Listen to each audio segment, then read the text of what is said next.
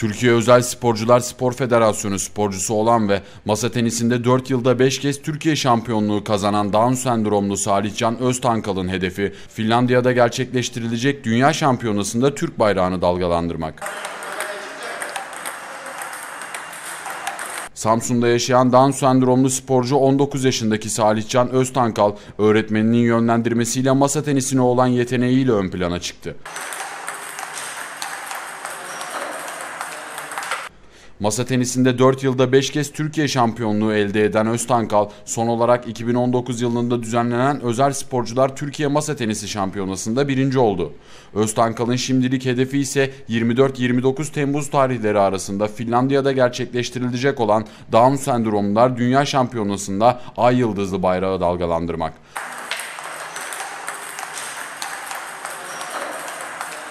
Antrenör Kemal Yaşkafa, Salihcan ile tanışma hikayelerini ve çalışmalarını anlattı. Hüseyin abiyle babasıyla tanıştık. Salihcan'la tanışmamız hocam dedi bu çocukların masa tenisine yeteneği var. İlgilenir misin, çalıştırır mısın dedi. Ben de ilgilenebileceğim kadarıyla çalışırım dedim. Ondan sonra öyle bir yola girdik. Üç buçuk senedir beraber çalışıyoruz Salihcan'la. Normal çocuklardan ayırmıyorum Salihcan'ı. Normal çocuklara nasıl antrenman yaptırıyorsam Salihcan'a da aynı şekilde antrenman yaptırıyorum. Yaş Kafa ayrıca özel çocuklu ailelere tavsiyelerde bulundu. Hedefi.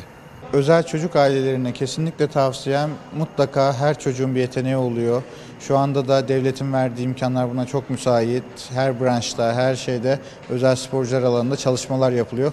Mutlaka ve mutlaka bir Gençlik Spor İl Müdürlüğü'ne başvuru yapıp mutlaka spor yaptırsınlar özel çocuklara.